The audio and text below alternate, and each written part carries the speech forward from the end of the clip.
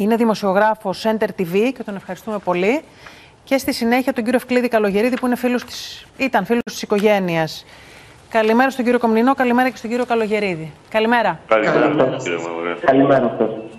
Να ξεκινήσουμε με εσάς, με, με σένα Γιάννη, αγαπητές συνάδελφοι. Έτσι ακριβώς θα είσαι τον ελληνικό, σε παρακαλώ, έτσι, ακριβώς. Έτσι. Καλημέρα. Λοιπόν, τώρα δεν ξέρω τι πληροφορίες μπορούν να φωτίσουν αυτά τα γιατί. Γιατί τα γιατί είναι αλλεπάλληλα σε αυτή την ιστορία. Μπορεί να υπάρξει απάντηση γιατί έγινε αυτό το φωνικό. Το γιατί ΦΕΗ σίγουρα θα μας το δώσουν, τις απαντήσεις αυτές θα μας τις δώσουν οι ειδικοί επιστήμονες, κοινωνιολόγοι, ψυχολόγοι, αλλά όπως έκανες και εσύ πολύ ορθά στην εισαγωγή σου ε, μια αναφορά στην υγειονομική κρίση, στην πανδημία και στην καραντίνα, στον εγκλισμό, έχουν ε, δημιουργηθεί πάρα πολλά τέτοιου είδους ε, συμβάντα και δεν ξέρουμε αν γινόταν και στο παρελθόν ή αν τώρα δημοσιοποιούνται ακόμα περισσότερο. Πάρα πολλά μπορεί να δημιουργούνται. Πάνω στο συγκεκριμένο, ναι. από ό,τι κατάλαβα, οι άνθρωποι ζούσαν μάλλον ούτως ή άλλως απομακρυσμένα σε κάποιο μαντρί. Δεν ξέρω, δηλαδή εκεί ναι, πέρα. Είναι...